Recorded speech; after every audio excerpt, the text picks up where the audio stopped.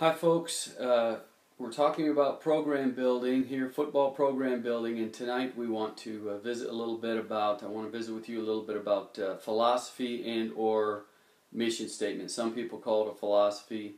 Some people call it a mission statement. So it, it's a very important part of program building, and uh, let's just dive right into it. Um, there, there's a lot to the mission statement and the philosophy. It's something that needs to be the umbrella that sits on top of your entire program. Uh, it needs to be able to be flexible enough to cover all aspects. What you want to do with this program, where you, where do you want to take this program, and how do you want to get there? What kind of a program are you going to be? That's what your philosophy or, or mission statement stands for. Uh, for example, Tom Osborne, Dr. Tom Osborne, when he was with the uh, Nebraska Cornhuskers, his mission statement, he used the term mission statement, it was um, excellence through teamwork.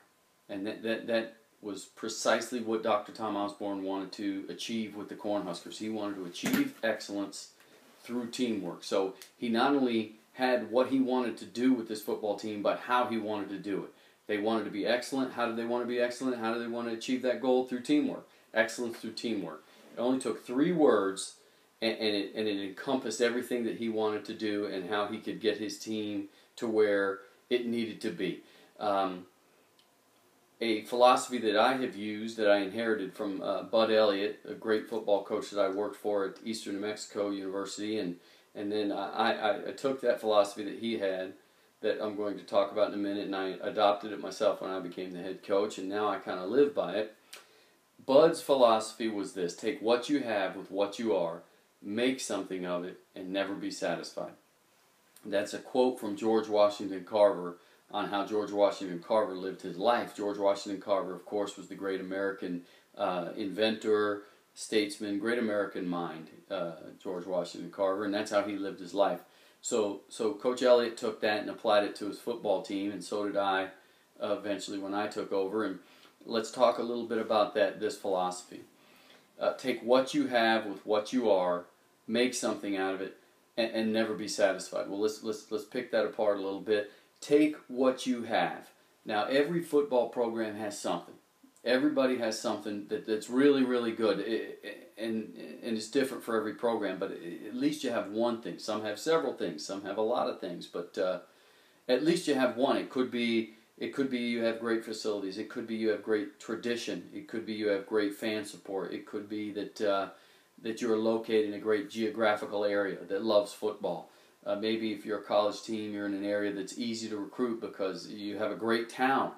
Maybe you have a great school. It's easy to recruit to because you have a world class school. Um, Stanford has a world class school. Cal Berkeley has a world class school. University of Texas has all kinds of tradition. Texas A&M, right smack in the middle of a great football state. Uh, University of Miami, great tradition, great football state. Penn State, uh, Pennsylvania is a good football state. Ohio State, great football state, great tradition. Um, Notre Dame, great tradition. There, there's all kinds of things that you might have. Uh, could be facilities, like I say. Could be a great staff. Could be a great coaching staff. Um, so you take what you have, and then the next part is with what you are. Now, as as a football team, you need to decide what are you? Who are you? Um, if you're if you're a Mike Leach football team, um, you're going to be a, a, spread, wide open, pass happy offense. You're going to score a lot of points. You're going to be really fast. If uh, same thing if you were a Chip Kelly team at Oregon, and even now with the Philadelphia Eagles, you're going to get a lot of snaps. You're going to be really exciting. You're going to be a fast-paced brand of football. You're going to wear out the defense. That's that's who they are. If you're a Nick Saban team, you're gonna you're gonna control the football. You're gonna be able to run the football. You're gonna be able to stop the run. Uh, they know these people know who they are. They know who they are. Um, if you're a triple option team, you're going to run the option. You're you're, you're going to uh, pound at them with the option. You're going to control the ball. Uh, uh, when Fisher DeBerry was at Air Force, they had a saying: "You're either going to score 40 points or hold the ball for 40 minutes." I mean, they, they knew who they were. So you take what you have with what you are. Okay, so so you need to you need to figure out what you have, and then that's easy. Look around. Everybody knows that. What do you have? What are we, what are the great things in our program? What are the great things about our school, our university, our high school? What what do we have here that, that's unique and it's really good? And then with what you are, who are we? What are we about? You know, I've worked for all kinds of teams. I've worked for a triple option team. I've worked for a team that's multiple. We're a multiple offense. We run we're a pro style offense, so we run all kinds of formations. We hit you with all kinds of plays. We're very multiple. Uh, defensively, the same thing. I've worked at places where we were an aggressive attacking defense. I've worked at places where we're a, a very flexible pro style 4 3 defense that's very multiple. We'll hit you with all kinds of different looks. We could be a blitzing team or a zone team, depending on the circumstance. So, um, decide who you, what you have with what you are, and then there's the make something of it. This part of the philosophy, that's the part of the philosophy where uh, that's the nuts and bolts of your program. Make something of it. So how do you do that? What are we talking about here? Well, you take what you have with what you are and you make something of it. What does that mean? Well, you look at where you are and where you want to be, and then how do you get there? What's your plan of attack, your strategic plan to get to where you want to be from where you are? And, and you apply that to all. You apply that to your to your uh, off-season program, your academic program, your in-season program, um, uh, your offense and your defense, your professional development of your staff. Um, uh, you can apply that uh, any any area of your program. You you could take it where we are, where we want to be, and how do we get there, and then you reevaluate that every year. You know, and uh, recruiting. If you're a high, if you're a college team, where are we in recruiting? Where do we want to be in recruiting? How do we get there? How do we make it better? How do we get to this level? What level do you choose? Well, you could start easily by uh, the levels of the champion of your conference or division. Uh, if you're in such and such conference, who won the conference? How do they recruit? Where do they recruit? And how do we get from where we are to where they are? Um, strength and conditioning. Look at one of the strongest teams you play. And, uh, well, we play so and so team, and they're really strong and they're really fast. So let's go and, and let's figure out how they get there. Let's figure out what their weight program is all about, what their strength and conditioning program is all about, and how can we tailor ours to get as strong as the champion in our pro, in our in our conference or division. That that's just a starting point. You know, maybe you want to be a wide open. Uh, uh, when Chip Kelly was at Oregon, I know that the the Oregon strength and conditioning they tailored their strength and conditioning uh, program to that offense, so we could be a fast paced, uh, really athletic type of offense. And um, so, so they, they tailored their weight program to uh, help their athletes achieve that. So th- that's that's the make something of it part. So you take what you have, you figure out what are the good things we have, then you figure out now who are we, okay, and then you make something of it, and that's that's traveling from here to here, and, and making your strategic plan and then and then never being satisfied. That's the last. That's the last uh, part of the philosophy or mission statement. And that that what does that mean? Never being satisfied. Well, uh, even if you reach your goal, even if you reach your goal that you have set, you could set a new goal, set the bar higher and higher, and every year you could go over. Now, did we get to where we wanted to be in recruiting, in our strength and conditioning, in our academics, in our off-season program, in our in-season practices, and so on? Uh, in know, professional development as a staff. You know, um, did we get to where we wanted to be? If not, let's let's retweak the plan. Let's stick with the plan. Uh, whatever the case may be, maybe we need to come up with a new plan. That's that's that depends on how close you got to your target. Okay, that's those are some ways that you can use this philosophy.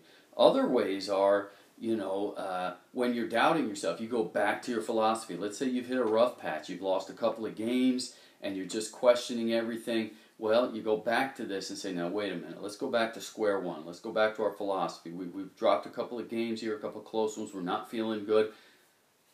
We don't need to scrap everything. This philosophy is the rudder of your ship. You know, take what you have with what you are and you need to look at okay now what are we? Are we a triple option team? Then let's let's keep running the triple because that's who we are. That's what we have. We have triple option players. We have linemen that can cut block. We have we have receivers that can block on the perimeter. We have a quarterback that can operate really well. That's who we are. We need to stay the course with this and, and, and things will get better. We just need to retweak a few things. That's what the philosophy can, can do for you Maybe you're sitting there and you're, you're, you're trying to be a triple option team. Let's say, for example, you want to be a triple option team, but that's not what you have. You don't have that kind of a quarterback. You've got a you've got a big, tall gunslinger, and you've got uh, several little receivers that are they're real quick little slot type receiver guys that can get open in space. So maybe you don't need to be a triple option team. Well, this philosophy can help you take what you have. The first thing you got to figure out is what you have. If you're brand new to the school, figure out what you have, and you might need to tailor your offense and defense and to to what you have, uh, more so than what you are. Now, after you've been there for a while and you can develop some things, if you're at the college level, you can recruit. This is who we are. You know, you come in there and, and you're running an air raid offense. This is who we are. So here's who we're going to go recruit. We're going to recruit a couple of big, really fast guys at receiver on the edges, a couple of little guys inside that can get open fast, a really great feature back, and a quarterback that can deliver the mail. You know, that's who we are. So let's go out there and get it. Uh, so your philosophy can help you in the good times. It can help you in the bad times. It can help you. It can help you with player discipline. You know, take what you have with what you are. Uh, you know, let's say one of your players uh, breaks some team rules. You can sit in and you go, "That's not the kind of team. That's not who we are. That behavior that that you exhibited. That's not who we are. That's not the such and such football team. The Wildcats, the Bearcats, the the Tigers, whoever your team is. You can sit that young man there and say, "You know that we don't do that. That's not who we are." You know, and, and you're not taking what you have. You're not taking the gifts that the good Lord gave you. You know, you could sit there across from a player and tell him this. You know, you, you have a lot of you have a lot of natural talents. You have some good street smarts. You've got some good some good book smarts. You've got a lot going for you, and, and so you need to take what you have with what you are and make something of it. So you can use this you can use this philosophy in, in several different ways when you're when you're dealing with uh, your program, uh, any aspect of your program as far as the technical stuff, as uh, meaning in season, uh, out of season, strength and conditioning, recruiting, um, um, uh, staff development, player development, those kind of things. You could use it personally, uh, introspective, and you look at yourself. Am, am I am I getting everything out of, of, of myself? Am I am I am I am I using my tools to the best of my ability, taking what I have with what I what I am, and I'm, am I making something of it? Uh, you could also use it with your players. Uh, it's a good rudder for your ship. If your ship gets off course, you go right back to your philosophy. Look back at who you are. Look back at what you have, and keep trying to make something of it. You know, uh, sometimes that plan to make something up, make something of it, the plan part of it, that's what you have to decide as the head coach now, uh, we are right here and we want to get to up here, and here's my plan, but we didn't hit it. We didn't even get halfway there. So, so do we need to come up with a new plan? Do we need to tweak this plan, or do we need to stay the course? And that's that's head coaching stuff, and that needs to come from your heart and your gut, and and you need to determine uh, whether or not uh, you need to make a whole new plan. But this philosophy can help keep you on track. It keeps your feet on the ground during the good times, and it keeps keeps your head up during the bad times. So, take what you have with what you are, make something of it, and never be satisfied.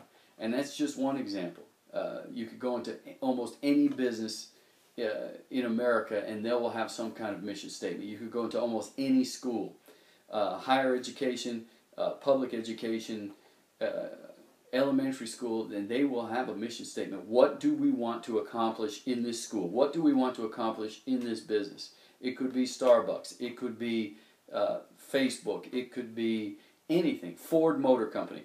And I guarantee you that they have some kind of mission statement. What do they want to accomplish? And uh, churches have this. If you're starting a church, a business, a school, a program, yeah, you need to have some kind of foundational uh, philosophy and or mission statement to to very exactly describe what your intentions are with this program and or business and or school or church or, or whatever so uh, I hope this helped um, it has helped me in the past and, uh, and uh, I hope that uh, George Washington Carver Car- George Washington Carver's uh, philosophy can help you